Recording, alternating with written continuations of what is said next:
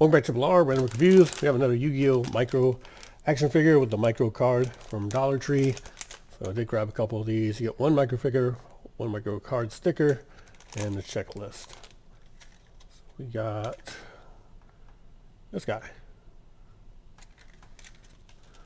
Got our dragon here. Not overly detailed, just small pieces of plastic. But kind of cool if you're a Yu-Gi-Oh fan.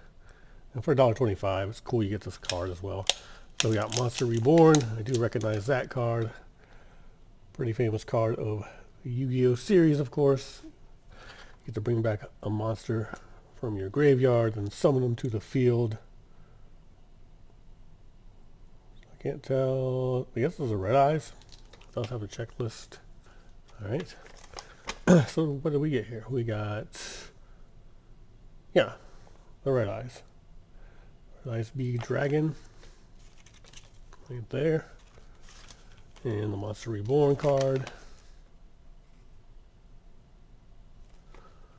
So not a whole lot to collect. It's kind of nice, I guess, in one way. Got some rares down there. I don't even remember what I got last time, but it would been nice if they match. That would make more sense. I think I mentioned that last time. But anyway, if you're a Yu-Gi-Oh fan, see them at Dollar Tree, you might want to pick them up.